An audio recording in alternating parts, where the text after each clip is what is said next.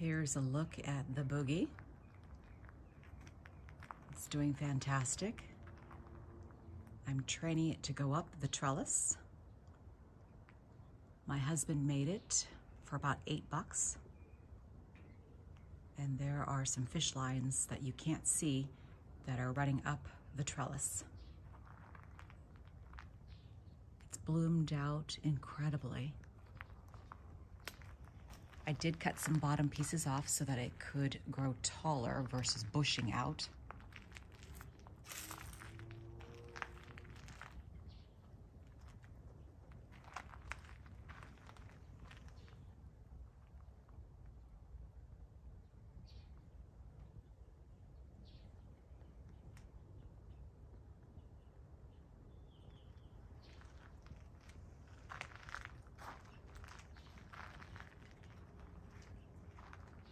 Can't wait for it to climb up to the very top. It's getting close.